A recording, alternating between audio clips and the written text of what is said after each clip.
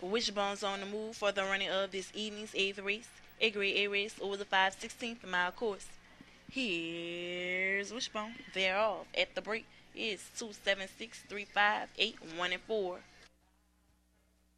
Grounds headed up the front stretch into the first turn. Number 7, DJ's Dragon with the lead, followed by number 2, HKS Moose, number 3, Stonewall, and number 8, Braska Happy. Grounds headed down the back stretch is 7, 3, 2, 5, 1. Into the final turn. Headed up the home stretch. Number 7, DJ's Dragon headed for the win. 731. Two at the wire. Please hold all tickets.